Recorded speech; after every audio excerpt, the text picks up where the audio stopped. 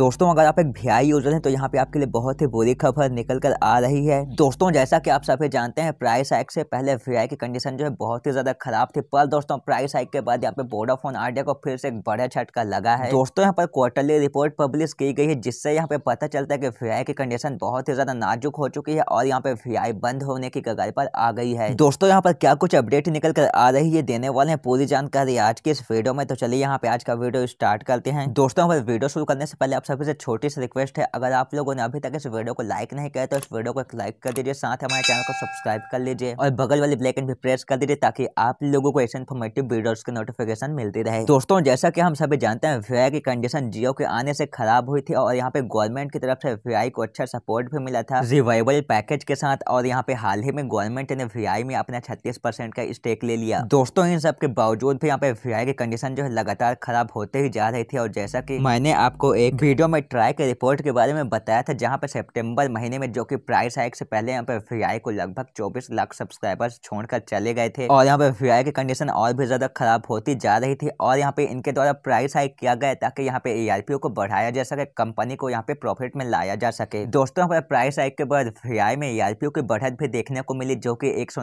से एक सौ हो गई बढ़कर। लेकिन दोस्तों, यहाँ पे फाइनल क्वार्टर यानी कि 2021 के दिसंबर महीने में वी को लगभग 5.8 मिलियन यानी कि लगभग दोस्तों अंठावन लाख सब्सक्राइबर्स छोड़कर यहाँ पे चले गए हैं। यहाँ पर वीआई के सब्सक्राइबर्स वी के साथ रुकने के लिए तैयार ही नहीं है और दोस्तों उसी के साथ लास्ट क्वार्टर 2021 में वीआई को सात हज़ार दो सौ इकतीस करोड़ रुपए का नुकसान हुआ है। दोस्तों यहाँ पर गवर्नमेंट का सपोर्ट होने के बावजूद भी रिवाइवल पैकेज मिलने के बाद भी यहाँ पे वीआई की कंडीशन जो ठीक नहीं हो पा रही है। अगर दोस्तों ऐसे वी के सब्सक्राइबर्स वी को छोड़कर जाते हैं तो वीआई जो है बंद भी हो सकती है आने वाले दिनों में। फ़िलहाल दोस्तों आप लोगों को क्या लगता है वी यहाँ पर किस प्रकार से सर्वाइव कर पाएगी, आप हमें ज़रूर से कमेंट करके बताइएगा इस वीडियो के नीचे। तो दोस्तों, यही एक अपडेट थी जो कि यहाँ पे आप लोगों के साथ शेयर करनी थी। तो दोस्तों, फ़िलहाल के लिए आज के वीडियो में बस इतना ही। मिलते हैं फिर किस नए वीडियो नए इन्फॉर्मेशन के साथ। तब तक के लिए वंदे मातरम।